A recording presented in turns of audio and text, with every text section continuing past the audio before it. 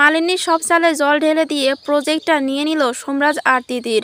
সোমরাজকে আচ্ছা করে জব্দ করল তিতির। হ্যালো বন্ধু, মন দিতে চায় ধারাবাহিকে, আজকের পর্বে আপনারা দেখতে চলেছেন।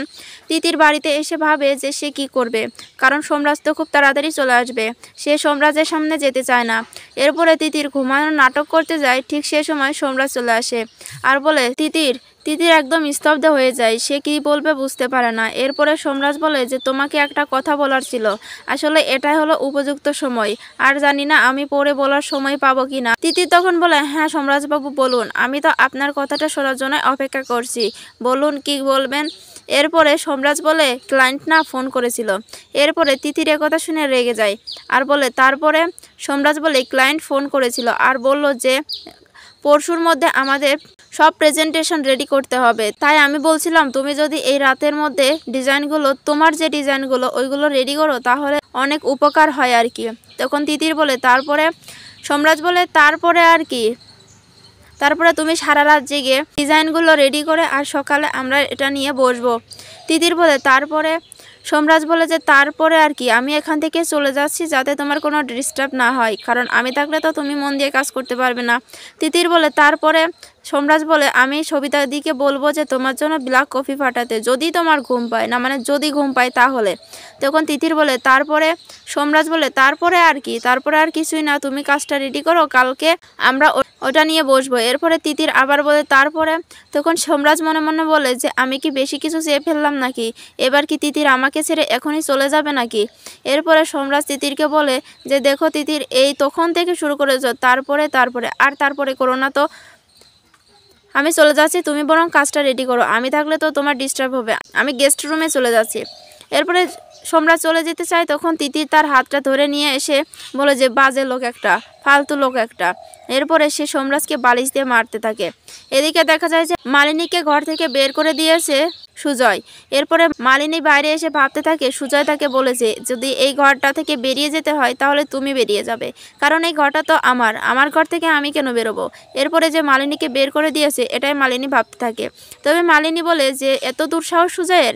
এত দুঃসাহস বেড়েছে তোমার। টানা আমি ছেটে দেব। ওই দেবী আর তিতির মিলে সুজয়কে সুজয়ের মাথাটা খেয়ে দিয়েছে, না হলে সুজয়ের কখনো সাহস হতো না আমাকে ঘর থেকে বের করে দেওয়া। এতদিনে যেটা হয়নি সেটা আজ ওই তিতির আর দেবী করল। আমি ওদেরকে ছাড়বো না।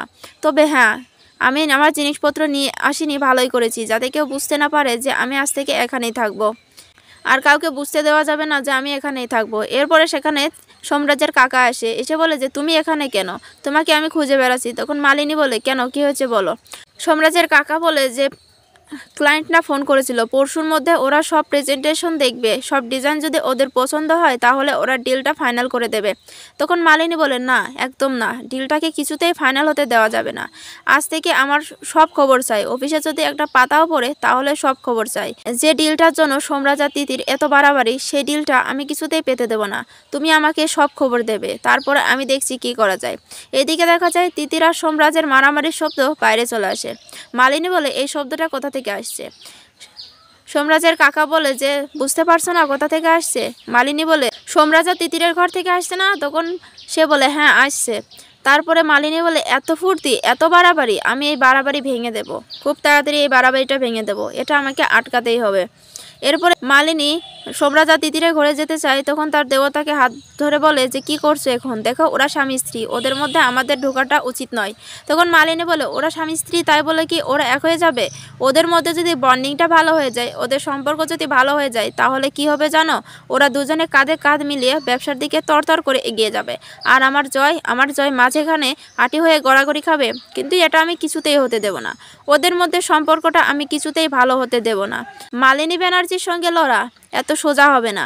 আমি ওদের দুর্জনের ডানায় এবার ছেটে দেব। এদিকে দেখা যায় যে সোমরাজকে তিতিন মারতে থাকে। সোমরাজ বলে, মারছো কেন? তুমি তো বললে কথাটা বলতে, এর জন্যই তো বললাম। তিতির বলে, আমি আপনাকে এই কথাটা বলতে বলেছি। এরপরে সোমরাজকে মারতেই থাকে তিতির। এরপরে মারা শেষ করে বসে পড়ে। সোমরাজ বলে, মার তো খেলাম, কিন্তু কেন খেলাম সেটা জানি না। তবে সেরেছে আমাকে, এটাই অনেক। এরপরে তিতির কান্না শুরু করে দেয়। সোমরাজ বলে, এ কি হলো? মার ছিল তো ভালো কথা। এখন কান্না শুরু করে দিলে কেন? আচ্ছা তোমার যদি আমাকে মারতে মন চায়, তুমি তাহলে আমাকে আরও মারো। কিন্তু কান্নাকাটি করো না, প্লিজ। তিতির বলে, এটাকে কি বলে জানেন? এক্সপেকটেশন ভার্সেস রিয়েলিটি তখন সোমরাজ বলে, কি বলছো? আমাকে একটু খুলে বলো তো। তখন তিতির বলে, ধরুন আপনি যদি বিরিয়ানি চান আর যদি একটা সিগারেট পান তাহলে আপনার কেমন লাগবে তখন? তখন সোমরাজ বলে, সিগারেট? সিগারেট তো আমার চায় না। আর সিগারেট বা আমি কেনই পাবো? তুমি আমাকে ভেঙে বলো তো? তখন তিতির বলে, আপনাকে যাই বলি না কেন? আপনি কি কিছু বুঝবেন?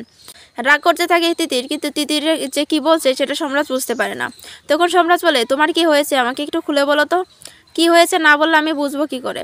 তখন তিতির বলে, আপনাকে খুলে বলেও কি লাভ আছে? আপনার মাথায় কি কিছু ঢুকবে?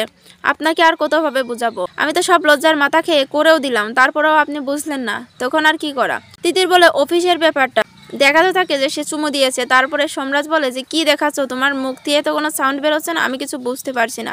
তিতির বলে, ওই যে অফিসে যা করলাম আমি সেটার কথাই বলছি। তখন সোমরাজ বলে অফিসে তো অনেক কিছুই করলে, কোনটার কথা বলছো? একটু ভেঙে বলবে বুঝ প্লিজ তখন তিতির বলে, আর কত ভেঙে বলব আপনাকে? আপনার মাথায় কি শুধু বিজনেস আর ওটিটি ছাড়া কিছুই আসে না সোমরাজবাবু এরপরে তার বুকে মাথা দিয়ে কাঁদতে থাকে।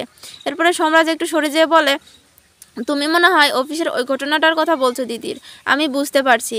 কিন্তু আসলে ঘটনার পর আমার কি করা উচিত বা আমার কি বলা উচিত এটা না আমি জানি না। যার জন্য কিছু করতেও পারছি না। এরপরে তিতির বলে, হাতের নখটা দিন। এরপরে তিতিরের নখের সাথে নখটা লাগাইয়ে বলে, যে কিছু হলো? তখন সম্রাজ বলে, না, হলো না। তখন তিতির বলে, না, আপনাকে দিয়ে কিছুই হবে না। সবই আমার কপাল। আপনার উপর না ঠাকুর রাগ করবে। আর আপনার কোনোদিন বাবা হওয়াও হবে না। এরকম কথা শুনে সোমরাজ এসে বলে, কিছু বললে তিতির? তখন তিতির আরও বেশি রেগে যায়। আর সোমরাজ বলে আচ্ছা ঠিক আছে, আমি এখন চলে যাচ্ছি। তিতির বলে হ্যাঁ আপনি না এখন ঘুমিয়েই পড়ুন। আপনাকে দিয়ে কিচ্ছু হবে না। আপনি বেরিয়ে যান। এরপরে সোমরাজ বেরিয়ে যায় আর তিতির এসে কান্না করতে থাকে আর বলে যে, আমি তো বালিশের পাহাড় করেছিলাম, কিন্তু সোমরাজবাবু যে এরকম অবলার পাহাড় করবে, সেটা তো আমি বুঝতে পারিনি। ঠাম্মিগো তোমার আর কোনো দিন পুতের মুখ দেখা হলো না। এরপরে তিতির ঘুমিয়ে পড়ে। এদিকে পরের দিন দেখা যায় যে সোমরাজ অফিসে যায়, তখন বিশ্বজিৎ তাকে বলে যে, স্যার, তিতির ম্যাডাম না অনেক ভালো কাজ করেছে। তখন সোমরাজ তিতিরের বলা কথাগুলো ভাবছিল। এরপরে বিশ্বজিৎকে বলে যে, বিশ্বজিৎ, তুমি কি রিয়েলিটি আর এক্সপেকটেশনে এর ব্যবধানটা বোঝো? তখন বিশ্বজিৎ বলে, আপনি কোনো চিন্তা করবেন না, স্যার। আপনি যা চাচ্ছেন তার থেকে অনেক ভালো হবে। তিতির ম্যাডাম অনেক ভালো ডিজাইন করেছে। আর টেলারটা আমরা রেডি করে ফেলেছি। খুব তাড়াতাড়ি আমি মডেল নিয়ে আপনার কাছে আসছি। এর সোমরাজ বলে, যে আমি তোমাকে যেটা বললাম সেটা বলো। তুমি কি এর দ্বিধাদ্বন্দ্বে কখনো পড়েছো? এরপরে বিশ্বজিৎ বলে, স্যার, আমি আসছি। এরপরে সে মডেল নিয়ে সোমরাজের কাছে আসে। সোমরাজ মডেলকে দেখে বলে, বাহ গর্জিয়াস বিউটিফুল চোখ সরানোই যাচ্ছে না, খুব সুন্দর হয়েছে। তখন সেখানে এসে উপস্থিত হয় তিতির।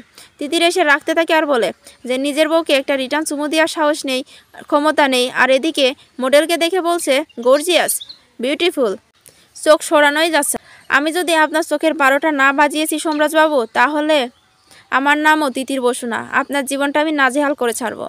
এরপরে দেখা যায় যে আগামী পর্বে তিতির সোমরাজের অফিসে এসে আসে তার নিজের দুজন মডেলকে নিয়ে। সেই মডেলগুলো হলো দোয়েল আর সোমরাজের বোন। এরপরে তিতির বলে যে আমার ডিজাইন ব্লাউজগুলো ওরাই প্রেজেন্টেশন করবে। তারপরে সোমরাজ কি বলবে বুঝতে পারে না। তো বন্ধুরা, তোমাদের কি মনে হয়? ম- মালিনীর সব চাল ব্যর্থ করে কি প্রজেক্টটা পাবে তিতির আর আজকের পর্বটা তোমাদের কেমন লাগল এখনই কমেন্ট বক্সে জানাও। ধন্যবাদ। আর অগ্রিম আপডেট পেতে আমাদের সাথে থাকো।